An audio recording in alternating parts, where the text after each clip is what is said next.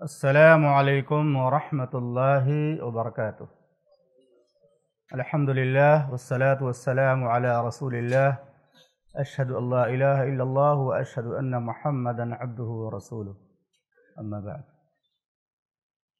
معزز، محترم، سامعین کرام، دینی اور اسلامی بھائیوں، آج کے درس میں انشاءاللہ ہم اس بات کو سمجھیں گے کہ کیا محمد الرسول اللہ صلی اللہ علیہ وسلم کے ناموں میں تاہا اور یاسین بھی شامل ہیں؟ یہ چیز بہت مشہور ہے۔ بہت سے شعراء اس کا استعمال کرتے ہیں۔ اور بہت سارے لوگ کہتے ہیں کہ تاہا بھی اللہ کے نبی صلی اللہ علیہ وسلم کا نام ہے۔ یاسین بھی اللہ کے نبی صلی اللہ علیہ وسلم کا نام ہے۔ تو اس کی حقیقت کیا ہے؟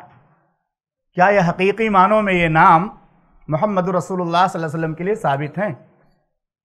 تو اس کا جواب یہ ہے کہ اس طرح کے ناموں کی یعنی خاص طور سے تاہا اور یاسین جس کا میں نے ذکر کیا ہے، یہ دونوں نام محمد الرسول اللہ صلی اللہ علیہ وسلم کے لیے ثابت نہیں ہیں۔ یہ حروف مقطعات میں سے ہیں۔ تاہا یاسین کاف ہا، یا، عین، صاد، الف، لام، میم، یہ سب کیا ہیں؟ حروف مقطعات میں سے ہیں، جن کا معنی اللہ کے سوا کوئی نہیں جانتا۔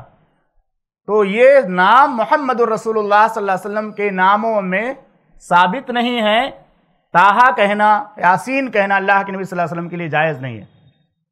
پہلا حوالہ یہ ہے، بعض سیرت نگاروں نے اپنی کتابوں میں چونکہ لکھ دیا ہے، کچھ سیرت کی کتاب لکھنے والوں نے ان ناموں کا تذکرہ اپنی کتابوں میں کر دیا ہے۔ لیکن جو محققین سیرت نگار ہیں، مستند سیرت نگار ہیں تو مستند اور محققین سیرت نگاروں نے ان تمام حروف کو حروف مقطعات میں ہی شامل کیا۔ حروف مقطعات کے طور سے ذکر کیا ہے۔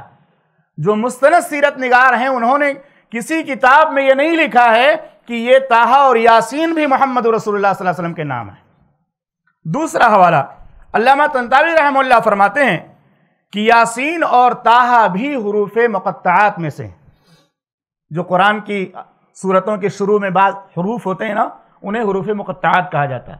تو علامہ تنتاوی رحمہ اللہ بھی یہی بات کہتے ہیں کہ فرماتے ہیں کہ یاسین اور تاہا یہ بھی حروف مقطعات میں سے ہیں۔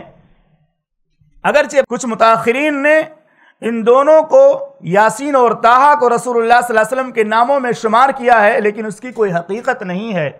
بعد کے لوگوں نے شمار کیا۔ نبی صلی اللہ علیہ وسلم کے زمانے میں صحابہ اکرام کے زمانے میں، تابعین کے زمانے میں اور خلفائے راشدین کے زمانے میں محمد الرسول اللہ صلی اللہ علیہ وسلم کے لیے ان دونوں ناموں کا کوئی ثبوت نہیں ملتا۔ جب خلفائے راشدین کے زمانے تک یہ نام محمد الرسول اللہ صلی اللہ علیہ وسلم کے لیے استعمال نہیں ہوتے تھے، تو بعد میں کیسے جائز ہو گئے؟ تیسرا حوالہ، علامہ ابن قیم الجوزیہ رحمہ اللہ فرماتے ہیں کہ عوام میں جو یہ بات مشہور ہے، کیا کہتے ہیں؟